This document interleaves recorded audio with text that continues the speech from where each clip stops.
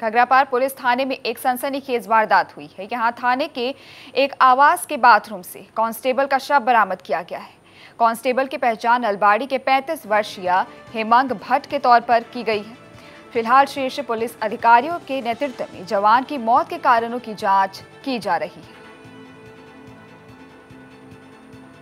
মোৰ ল'ৰা আছিল কি নাম? তপন তপন বৰ্মন দোকানত থাকে এই বজাৰ পৰা নহয় কোনোবা বেলেগ ফোন কৰি মাতিছে। গেছি। এতিয়া ল'ৰাটোক কোনোবাই মাৰি থৈছে মোৰ সন্দেহ সেইটোৱে। তোমাক হত্যা কৰিছে? হত্যা কৰিছে। কোনো শত্ৰু আছিল নেকি তাৰ? শত্ৰু আছে।